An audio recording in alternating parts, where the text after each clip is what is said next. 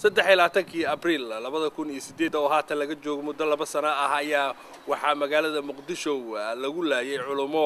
tabliiq ah oo caan ka ah magaalada muqdisho xilligaasi oo ay ku sugnaayeen ciidamada etoobiyaanka gudaha dalka soomaaliya. Haddaba baroordiiq loogu baroordiiqayo culummadaasi looguna ducaynayo ayaa waxaa lagu qabtay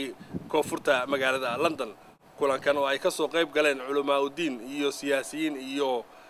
wasiiro. Haddaba kulanka waxaa khudbado halkaasi ka soo jeediyey qaar ka mid a dadkii halkaasi isugu yimid ee waxgaradka reer london.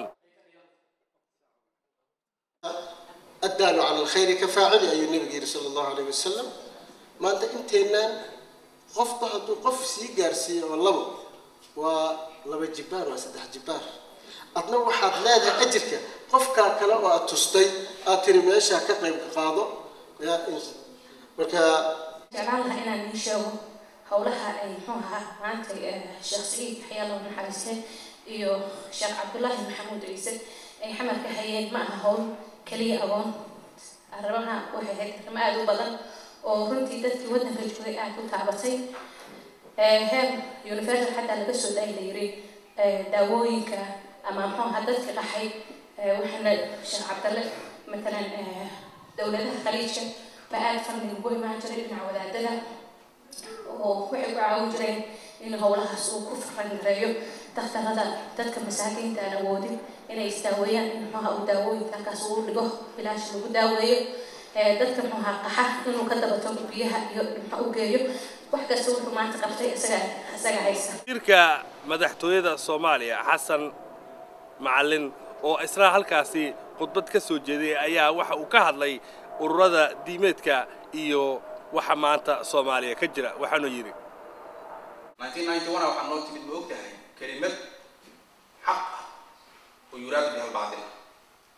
dadkii qarannimada soomaaliya dunya waxay yidhahdeen dadkii inta soo hor istaageen allahu akbar allahu akbar allahu akbar allahu akbar. Dadka qarannimada soomaaliya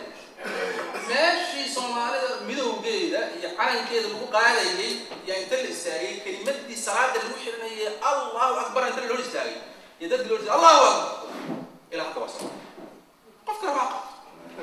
dulmiyaa la gala allahu akbar kelimadii salaada lagu xiri jiray imaamku allahu akbar allahu akbar lihi jiray inkii meeshaa ka bilowday